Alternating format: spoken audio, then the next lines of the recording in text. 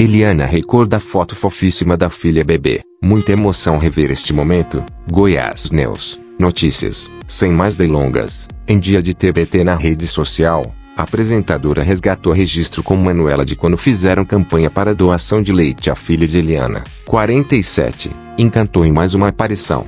Nesta quinta-feira, 27, a apresentadora do SBT entrou no clima de TBT da rede social e recordou uma foto de quando Manuela, 3, ainda era bebê. Com herdeira no colo, a loira surgiu radiante no registro, utilizado para um propósito muito especial. Campanha de TV mais fofinha que eu e a Manuela fizemos para incentivar a doação de leite materno em 2018, contou ela. Eliana ainda disse que foi reconhecida com a ação.